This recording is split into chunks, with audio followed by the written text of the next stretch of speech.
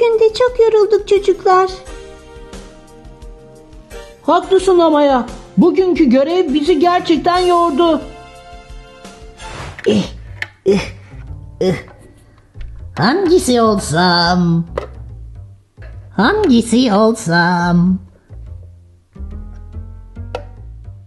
Gekko'ya mı dönüşsem? Kedi çocuğa mı? Ya da baykuş kıza mı? yok yok. Ben bugün kedi çocuk olacağım.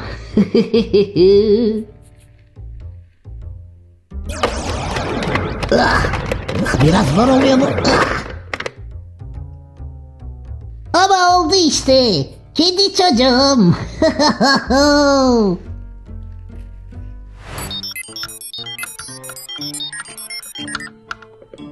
Bugünkü görevimizin raporlarını sisteme girdim ama ya. Şimdi başka bir görev için beklemede kalmalıyız. Oyun başlasın. Hey! Görev zamanı! Ne? Görev mi? Hadi hadi hemen gitmeliyiz. Haklısın.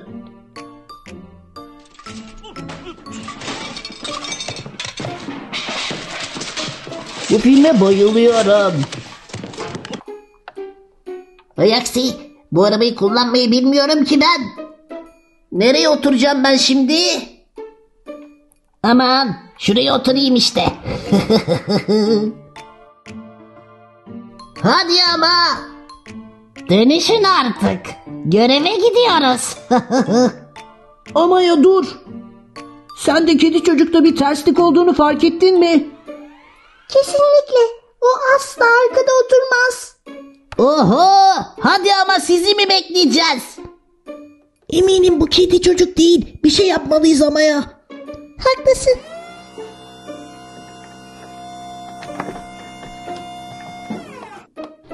Çocuklar ne oluyor burada?